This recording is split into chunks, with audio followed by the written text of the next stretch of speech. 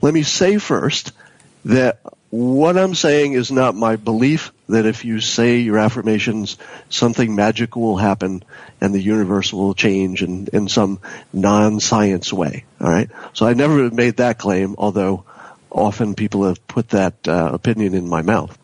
What I have said is that I've used the technique and I got a certain experience, which I'll be happy to share, and then I tell the story. All right, you can make of it what you will.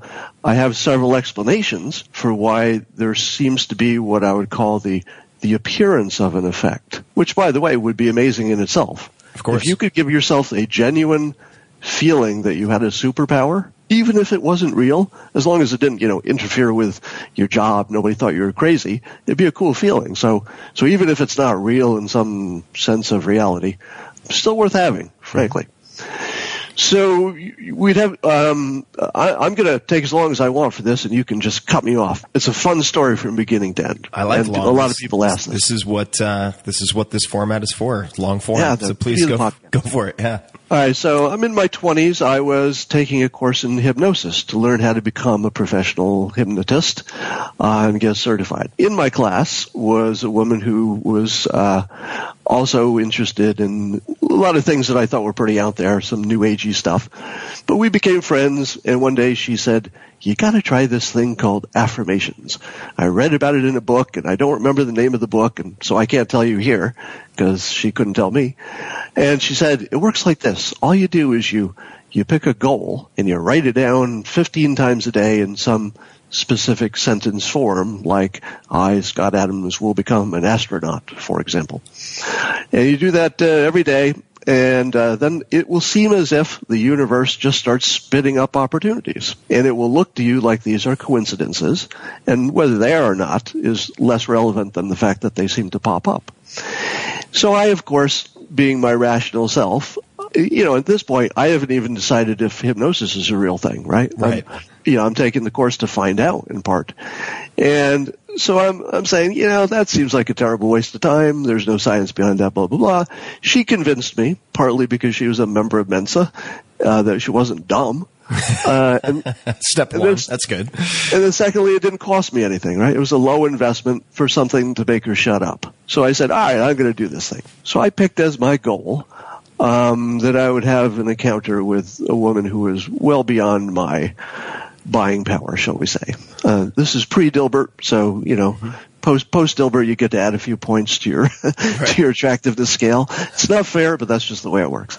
So, so let's say if, you know, if I could modestly say I was a, a, a six, uh, hoping to be a six and a half, you know, let's say she was a, a nine, just so you get a sense of the, the monumental task I, I set in front of myself. Secondly, I didn't know her. She was just somebody who worked in the company in a different department. So I'll shorten the story just to say lucky things happened and against all odds, my affirmation came true. So I thought to myself, as everybody would in this situation, well, it's not really the affirmation that worked. That would be crazy, right? Because even though it was a whole bunch of ridiculous coincidences that put us in the same place, you know, uh, at the same time. I mean, you wouldn't believe the, the number of them, and I, I won't tell them here because they're, they're just too many. But in the end, it was almost like we were fated to meet, all right? Now, I don't believe in that, but it just felt like that. That's the experience.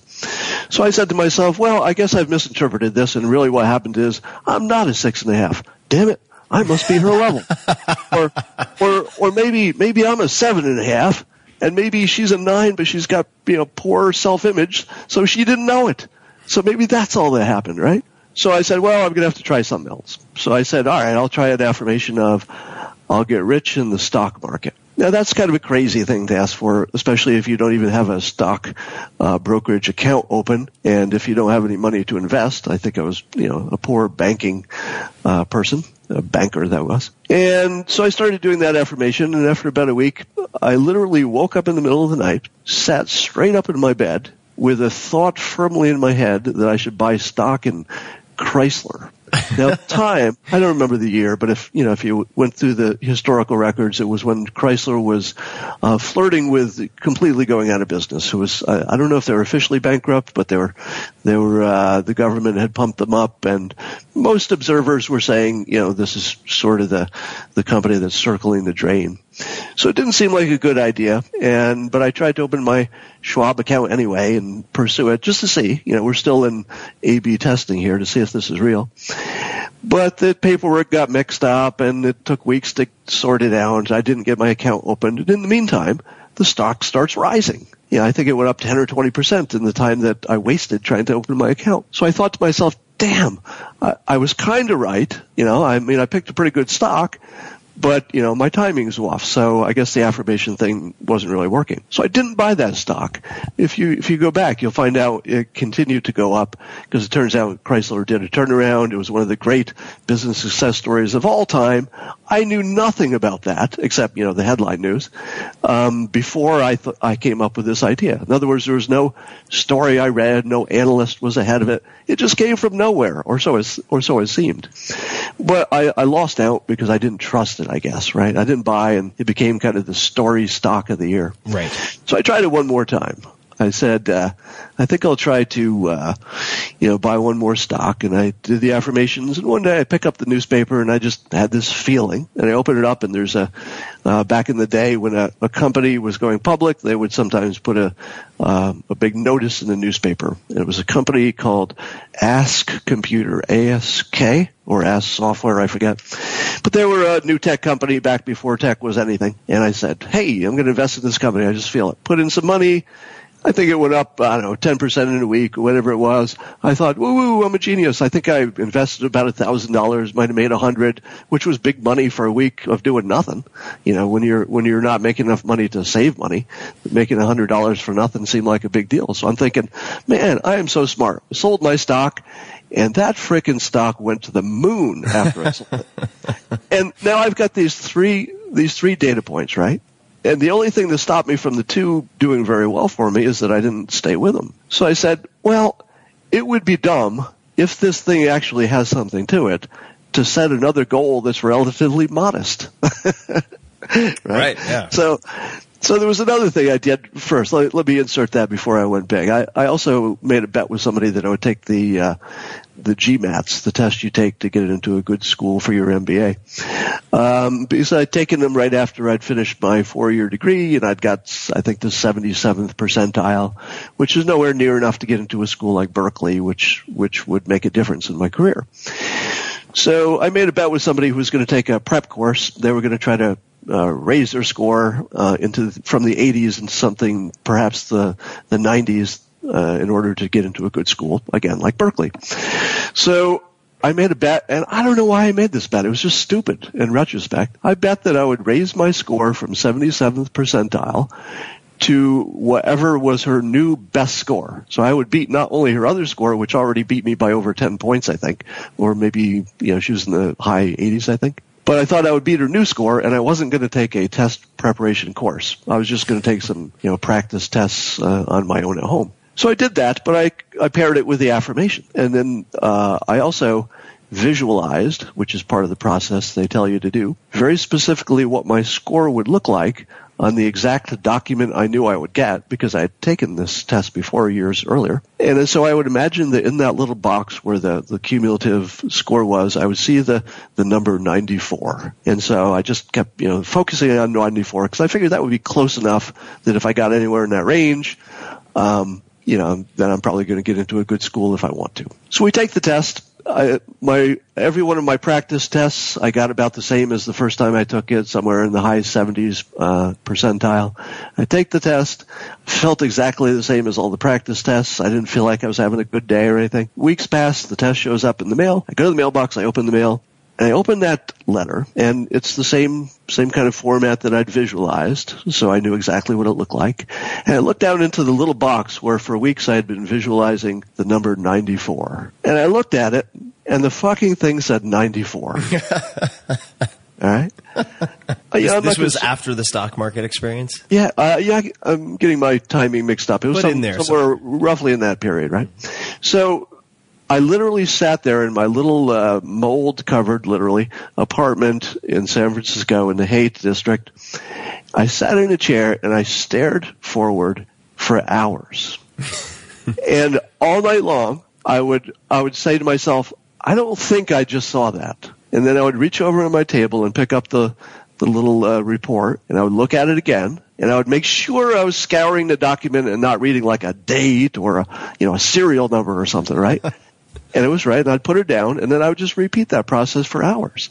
And at the end of it, I said, I think I'm going to set my sights higher. And it wasn't long after I decided to start the affirmation, uh, my Scott Adams would become a famous cartoonist. So I mean, was, there were some years that, that passed in between and then some other affirmations, but that's, that's essentially the, the path I took. So the odds of becoming a, uh, famous cartoonist. Uh, I think about 2,000 people submit packages to the big syndicates, the people who give you the big contract, your big break.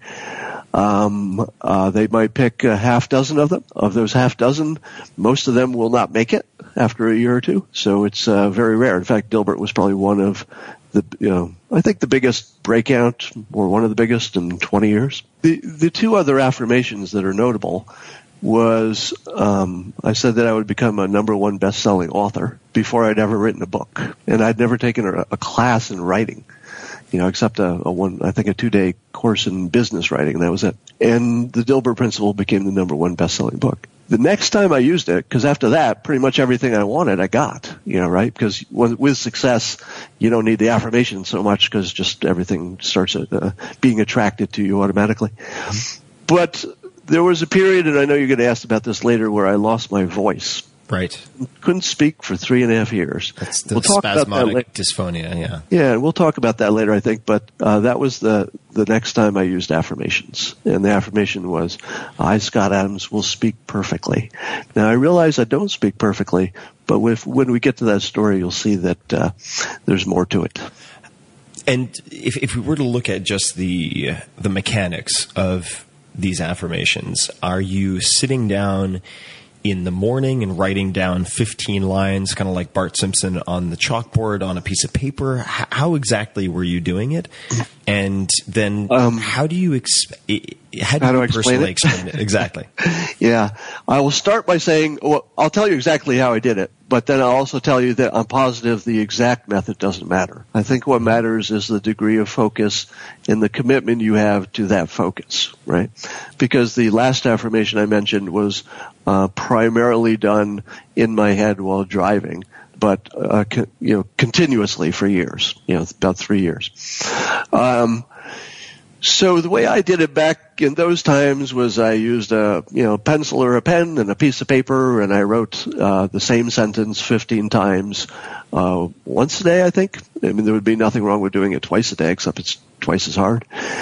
So I I don't think there's a reason that you should do it twice a day. I don't know if 15 is magic. I'm sure 10 would get you there. 20 might be better, but I doubt it.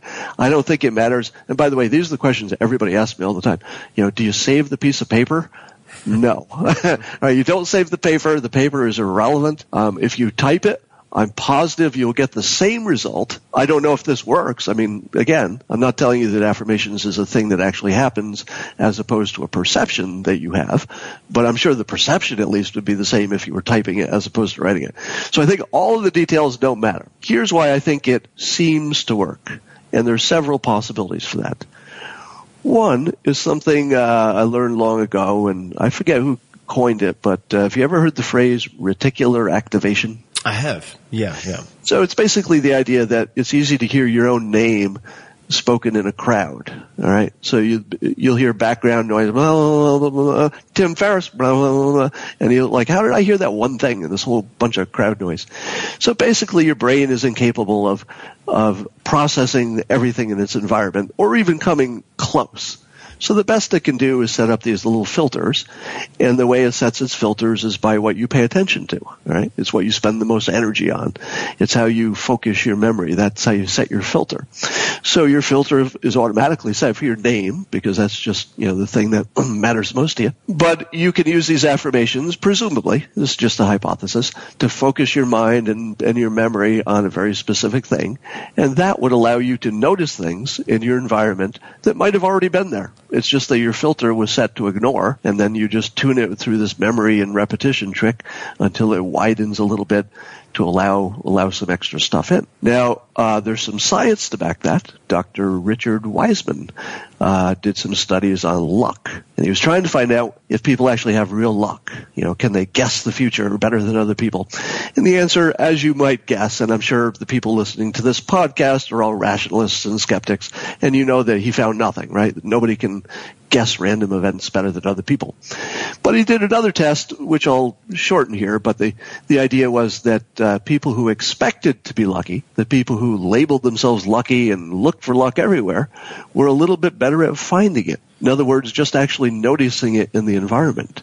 So if your filter is tuned to this thought, hey, I think there's something out there lucky, let me look for it. Where's Waldo? Where's Waldo? Where's, there's Waldo. All right. You're going to find a little bit more and more often than the guy who says, there was nothing to look for. I already know everything's going to go wrong. I'll tell you tomorrow. Tomorrow's going to be me going wrong. Bad day, Eeyore. Rah, rah. Right? so that guy's just not looking for anything. Right. So now, now let me give you an anecdote to tie that together. During the time I was telling myself I wanted to be, you know, a cartoonist, how do you do that? Like, you know, where, this was pre-internet. I didn't know where to search for it. I didn't know anybody. Um, I came home and I noticed, all right, I noticed something I'd never seen before. Maybe it had always been there. I don't know. But I noticed a, car- a show, a TV show about how to become a cartoonist. And I wrote to the host of the show and asked him for some advice. He gave it to me, short story, uh, even shorter. Um, that set me on the road to to know how to you know buy the book that I needed and and submit my materials and, and that sort of thing. Now you could say, well, that was just a coincidence because maybe that show only aired once, and uh, I think it was on public TV, so it actually probably aired lots of times. But um, there might have been other things I would have noticed. You know, it wasn't just that one thing I could have noticed. I might have noticed other things that would have sent me on a different path, but also toward this this thing I'd been focusing on. Right now, the other possibility, um, every rational person in the audience is screaming, you know, at their uh, at their speaker right now, "You idiot!" This is selective memory. Um, what, what's really happening is there are lots of times that you were focusing on things and doing affirmations, and you just you just freaking forgot those times. Right, it's a survivorship bias, right? Right. Mm-hmm. Um, I say absolutely. That's completely possible, right? But I just told you my story, and I can tell you that I don't have a memory in all of those years of trying it when it didn't work. I do have plenty of memories of when it hadn't worked yet. like I said, the the voice problem took years.